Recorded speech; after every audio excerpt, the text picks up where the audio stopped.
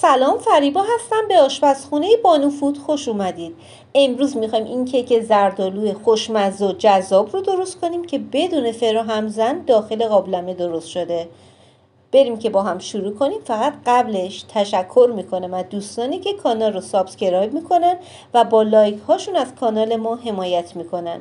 یه لیوان آرد رو با یک پینچ نمک یک قاشق مربا خوری بیکینگ پودر مخلوط می‌کنیم و دوبار الک می‌کنیم.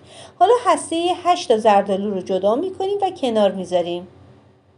داخل تابه یک دوم لیوان شکر یک دوم لیوان آب رو با هم مخلوط می‌کنیم و می‌ذاریم روی حرارت ملایم که شروع به ریز جوشیدن کنه. بعد یک قاشق مربا خوری کره رو باید بهش اضافه کنیم.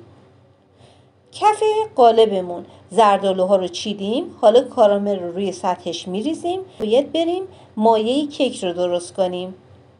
سه تا تخم مرغ به دمای محیط رسیده رو داخل ظرف میشکنیم. بعد بهش سه چهارم لیوان شکر رو اضافه کردم و یک چهارم قاشق چای خوری وانیل مدام به هم بزنید. در اینجا کره زوب شده یا روغن رو بهش اضافه می‌کنیم. حالا آرد رو طی دو مرحله بهش اضافه می‌کنیم و به صورت دورانی به هم می‌زنیم. ما یک کیک رو روی سطح زردالوها ریختیم بعد داخل یه قابلم رینگ گذاشتیم. قالب رو روی سطحش قرار میدیم و روی درش دمکنی می‌ذاریم. به مدت 45 دقیقه روی حرارت ملایم بمونه تا آماده بشه. 20 دقیقه اول درش رو باز نکنید.